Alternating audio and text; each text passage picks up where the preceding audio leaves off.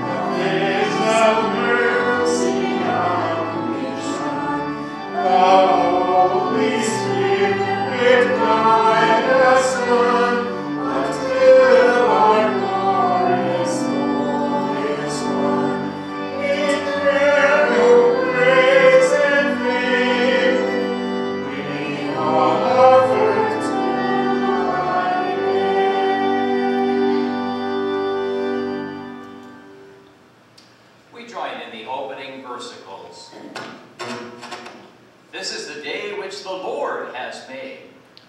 Let us rejoice and be glad in it. From the rising of the sun to its setting, the name of the Lord is to be praised. Out of Zion, the perfection of beauty, God shines forth. Our God shall come. He does not keep silence. Prepare the way of the Lord. Make his path straight. Shower, O heavens, from above and let the skies rain down righteousness. Let the earth open, that salvation may sprout forth. From the rising of the sun to its setting, The name of the Lord is to be praised. glory be to the Father, and to the Son, and to the Holy Spirit, as it was in the beginning, is now, and will be forever. Amen.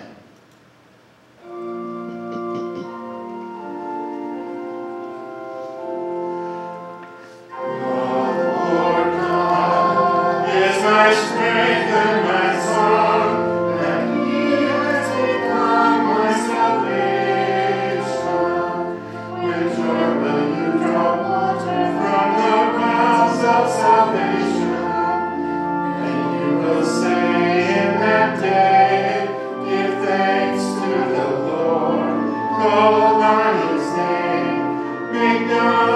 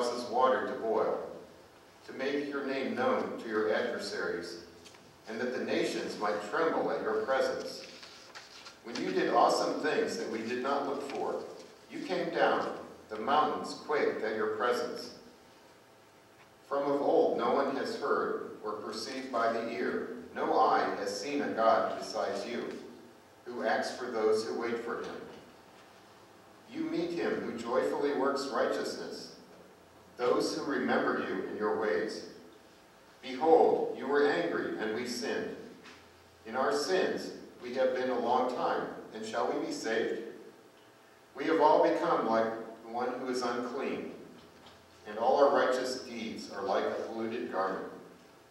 We all fade like a leaf, and our iniquities, like the wind, take us away. There is no one who calls upon your name, who rouses himself to take hold of you. For you have hidden your face from us, and have made us melt in the hand of our iniquities. But now, O Lord, you are our Father. We are the clay, and you are our potter. We are all the work of your hand. Be not so terribly angry, O Lord, and remember not iniquity forever.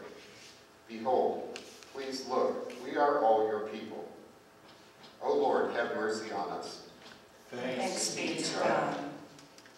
The epistle lesson is from 1 Corinthians chapter 1, Thanksgiving.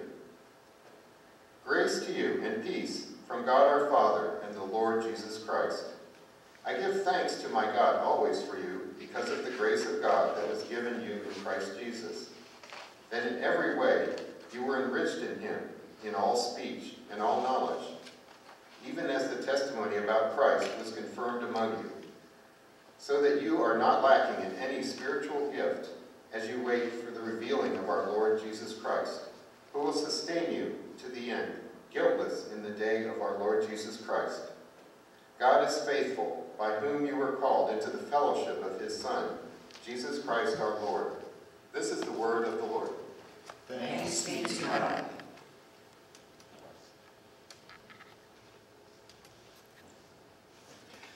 We turn our attention to the Holy Gospel, the Gospel of St. Mark, the 11th chapter, as we read about the triumphal entry.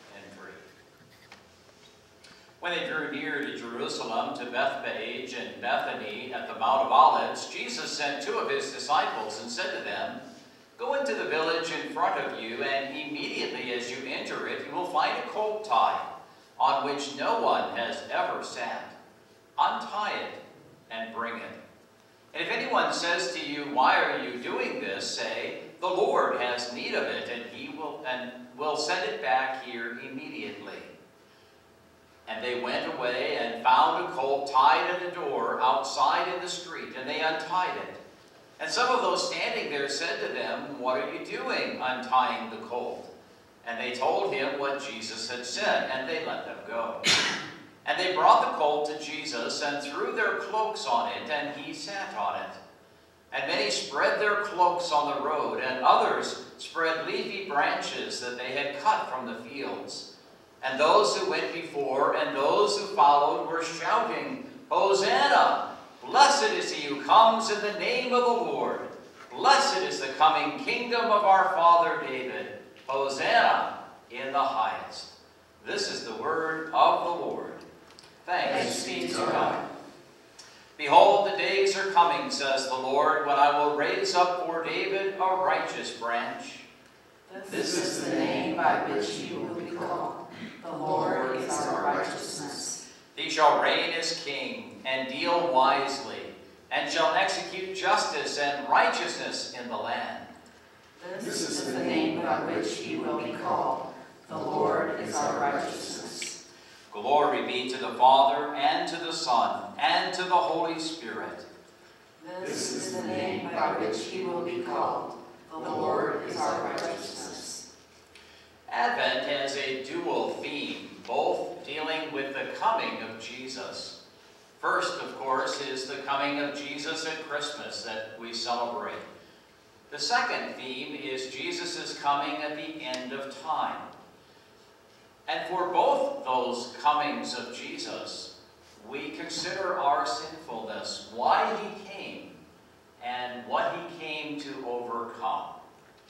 The Ten Commandments point to our sin, for we see that we are not the perfect people that God calls us to be. Our sin offends our holy God, and we need his forgiveness we recite the Ten Commandments and consider our unworthiness. You shall have no other gods. You shall not misuse the name of the Lord your God. Remember the Sabbath day by keeping it holy. Honor your father and your mother. You shall not murder. You shall not commit adultery. You shall not steal. You shall not give false testimony against your neighbor. You shall not covet your neighbor's house. You shall not covet your neighbor's wife, nor his manservant or maidservant, his ox or donkey, or anything that belongs to your neighbor. But in the Apostles' Creed, we read about the great things that God has done. He not only has created us, he has also saved us because of Jesus, who died for our sin and is raised again in victory. And the Holy Spirit plants that gift of faith in our hearts. We remind ourselves of the great things God has done, the things that we believe words of the Apostles' Creed. I believe in God the Father Almighty, maker of heaven and earth, and in Jesus Christ, his only Son, our Lord, who was conceived by the Holy Spirit, born of the Virgin Mary, suffered under Pontius Pilate, was crucified, died, and was buried. He descended into hell. The third day he rose again from the dead. He ascended into heaven, and sits at the right hand of God the Father Almighty. From thence he will come to judge the living and the dead. I believe in the Holy Spirit, the holy Christian church, the communion of saints, the forgiveness of sins, the resurrection of the body, and the life everlasting. Amen. Believing Jesus as our Lord and Savior, we are privileged to join with him in prayer. Our Father, who art in heaven, hallowed be thy name. Thy kingdom come, thy will be done on earth as it is in heaven. Give us this day our daily bread, and forgive us our trespasses, as we forgive those who trespass against us. And lead us not into temptation, but deliver us from evil. For thine is the kingdom, and the power, and the glory, forever and ever. Amen. We welcome Mrs. Baker forward for the children's lesson today. I have to do all of my things.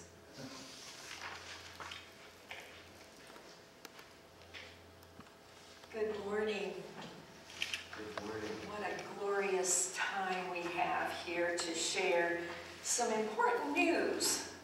I want to read again some of the words that Tom read a few minutes ago. It comes from Isaiah. Yet, O Lord, you are our Father. You, we are the clay, you are the potter. We are all the work of your hand.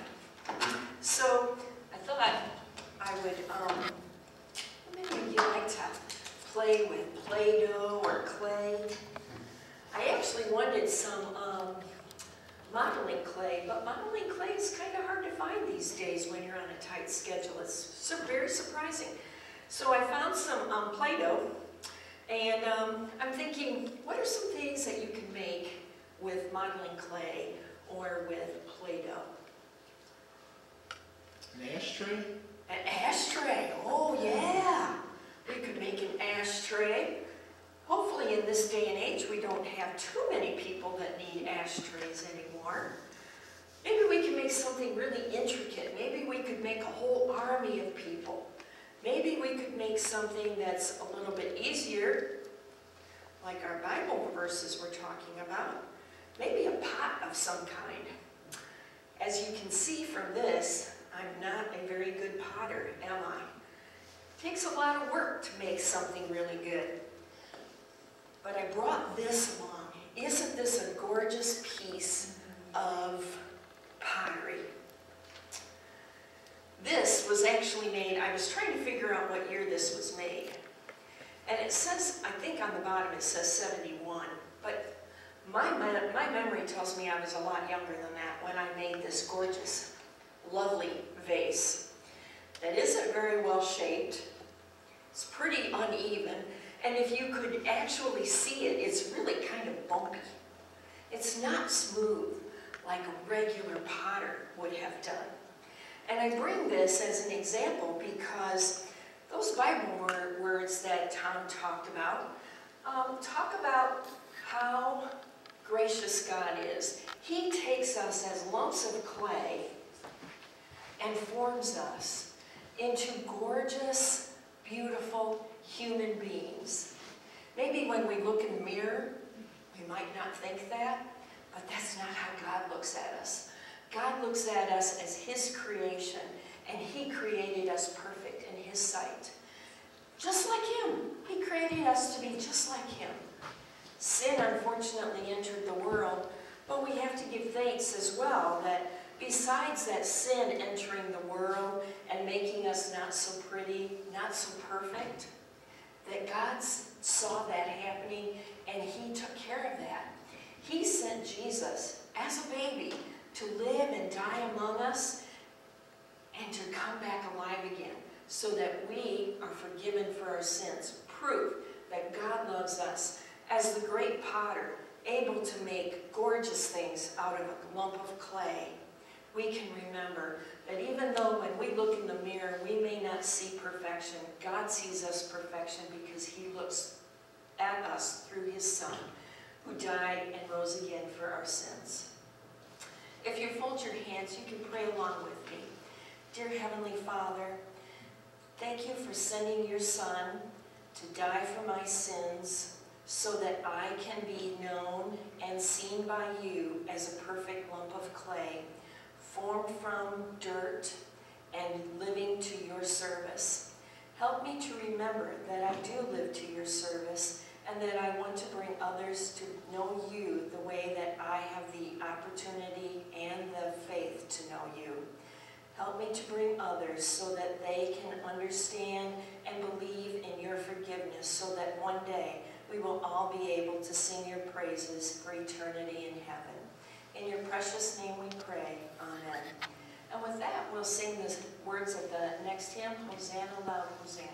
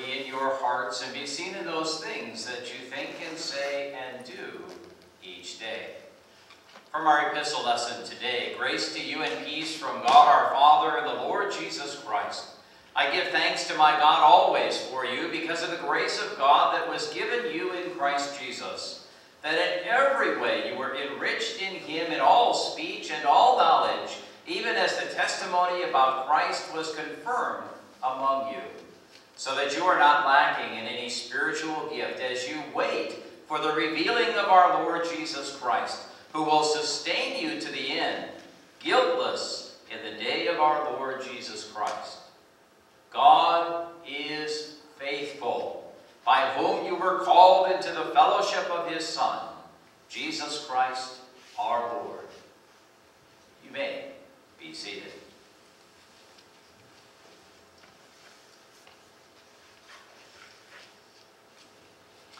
Well, are you ready for Christmas? You know, that's the question that's going to come up again and again and again until the day finally arrives. It's a great question, and it provides us an opportunity as God's people to bring Jesus into the conversation. This is Advent, after all, and Advent has that twin theme of being ready.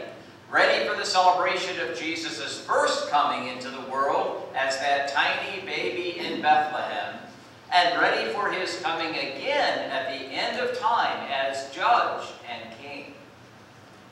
So, are you ready for Christmas is really only half the question. The possible response, you know, Jesus came, thank God, to take away our sins. But the real question is, are we ready for him to come at the end of time? That's the more pressing question, it seems to me. We are thankful that God is faithful. In Him we have forgiveness and salvation. In fact, His faithfulness is legendary. Well, let's do something a little different today. Let's play a little game. I'll describe something or someone with hopefully a one or two word answer. You can maybe respond. Sort of like word association. And this will work much better if you who are watching this video will also play along. You ready? Let's start with sports. Mike Ditka. Chicago Bears. Chicago Bears. Vince Lombardi. Green Bay Packers. Green Bay Packers. What about politics? The Bay of Pigs. Cuba. Cuba. Kennedy. Castro. Yes, you got it. How about this one? Mr. Gorbachev, tear down this wall. President Reagan. Ronald Reagan. You got it. Let's switch to TVs and movies. Ready? Go ahead. Make my day. Dirty Harry. Dirty Harry, Clint Eastwood. How about this? Toto, I have a feeling we're not in Kansas anymore. The Wizard of Oz. The Wizard of Oz. You got it. How about one more? Hey, Fonzie. Fonzie from Happy Days. Okay, an encore. Missed it by this much. Maxwell Smart. Maxwell Smart, you got it. These are, at least in our culture, legendary lines, legendary characters. And we've got a cross-section of people, both here and then also watching at home. And most of you, I think, got all the references. If we did the same thing in other places, say China or India or Russia, do you think they'd recognize those legends? But this is something they would recognize. Around the world, the symbol of the cross proclaims the Christ who died and was raised. There may be cultures that try to deny it, try to hide it, try to take away the cross of Jesus Christ, but they will never win. The cross of Jesus will prevail. The cross will prevail. The message of salvation through faith in Jesus Christ will prevail because everyone needs the forgiveness that Jesus has won for us. Every culture, every person, every man, every woman, every child needs the Savior, whether they know it or not. Your neighbor needs the Savior. I need the Savior. You need the Savior. Ever since Adam and Eve sinned, a Savior was needed. God promised a Savior. He'd come through the seed of the woman. And centuries later, when everything was right, at God's timing, He proved faithful. The Savior came. A cry was heard in the night. The angels sang to the shepherds. The stars shone bright in the sky to proclaim the King of kings and Lord of lords. God promised a Savior and a Savior King. He lived to show us what was in God's heart, and He died on an accursed cross to let us know just how much He loves you. Jesus' death shows how far God is willing to go to bring you to himself. His death shows just how far God is willing to go to bring you into his family. The debt God himself demanded, God himself paid. The bloody sacrifice of the child of Bethlehem on a cross outside Jerusalem demonstrates the legendary faithfulness of our God. And so today, this first Sunday of Advent, we begin to prepare to celebrate the fulfillment of the promise of God. For Jesus came in fulfillment of the promise of God to Adam and Eve that he'd send a Savior. So as you prepare to celebrate Christmas, don't let the devil and the world hoodwink you into celebrating something that Christmas is not. Christmas is not about counting the cost of Christmas gifts given and received. It's not about making our lists and even checking them twice and giving gifts of coal or good gifts depending upon whether people were naughty or nice. Christmas is not about the debt we rack up in trying to create the next American family video of excited children opening gifts or surprises of trips or exotic places or gift wrapping a smart car, a Buick, or a Lexus. Christmas is the celebration of God's faithfulness in sending a Savior. Shouldn't the coming of Jesus, the fulfillment of God's promise, be a planned focus of our celebration. Since it is Jesus' birth, shouldn't we spend the most, shouldn't our largest investment at Christmas be the offering that we bring to Him? And shouldn't this gift be planned and provided for before we make a mad dash for the others? Haven't we all let the world dictate how we celebrate the gift of the Savior.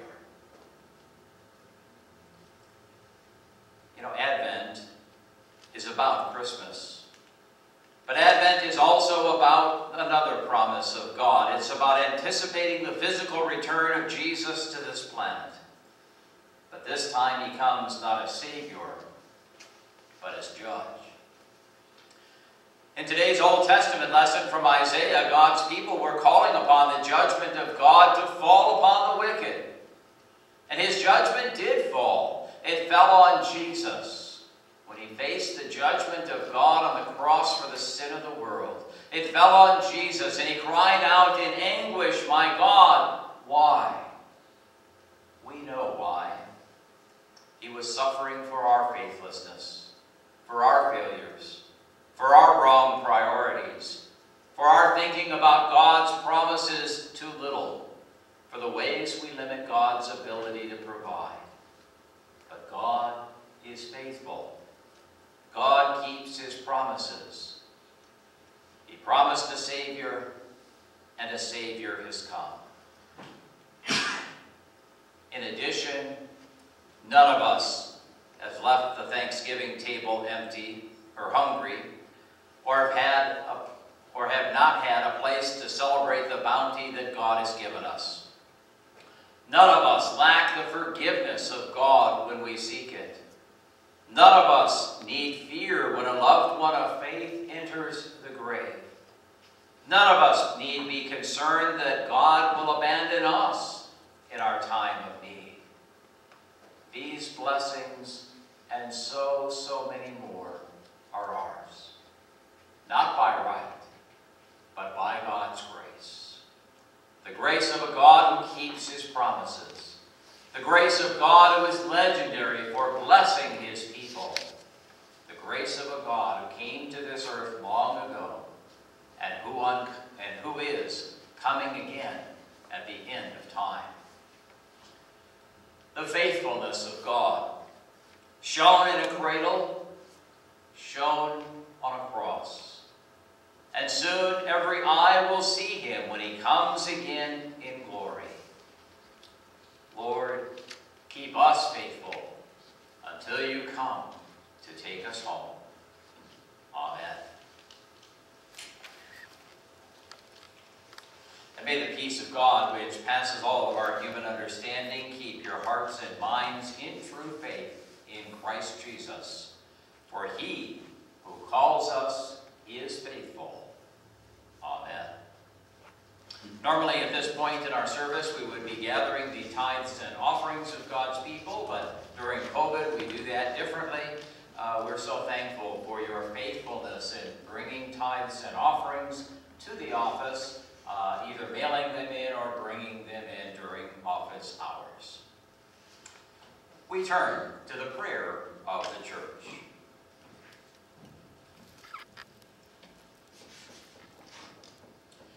In peace, let us pray to the Lord.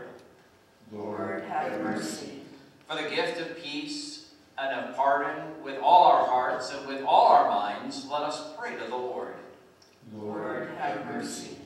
For the Holy Christian Church here and scattered throughout the world, and for the proclamation of the gospel and the calling of all to faith, let us pray to the Lord. Lord, have mercy. For this nation, for our cities and communities, and for the common welfare of us all, let us pray to the Lord. Lord, have mercy. For seasonable weather, and for the fruitfulness of the earth, let us pray to the Lord. Lord, have mercy. For those who labor, for those whose work is difficult or dangerous, and for all who travel, let us pray to the Lord. Lord, have mercy. For all those in need, the hungry and the homeless, for the widowed and orphaned, and for all those in prison, let us pray to the Lord. Lord, have mercy. For the sick and the dying, and for all those who care for them, let us pray to the Lord. Lord, have mercy. Lord, we thank you for your loving care of your people. Be with your servants and all whose first names we mention before you.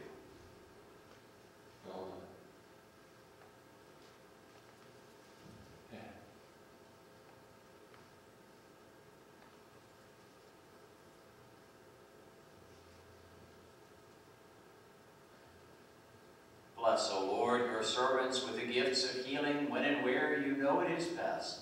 Let us pray to the Lord. Lord, have mercy. Lord, there are people we know among our family and friends who need to know you or know your love more clearly. Hear our silent prayers for those whom we know among our family and friends whom we name in our hearts.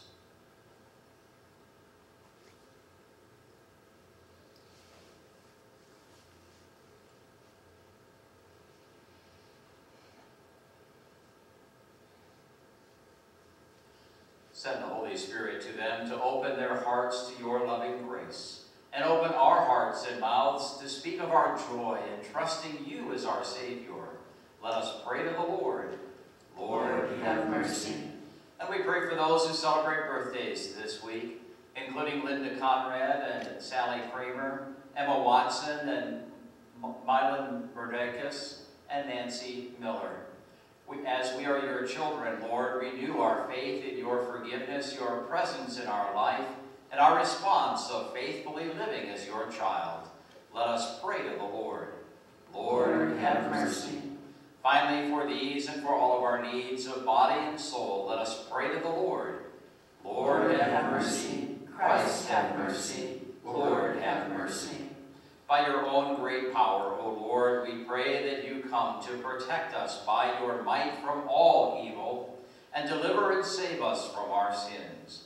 For you live and reign with the Father and the Holy Spirit, one God, now and forever. Amen.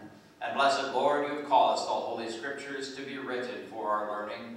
Grant that we may so hear them, read, mark, learn, and take them to heart, that by the patience and comfort of your holy word we may embrace and ever hold fast to the blessed hope of everlasting life.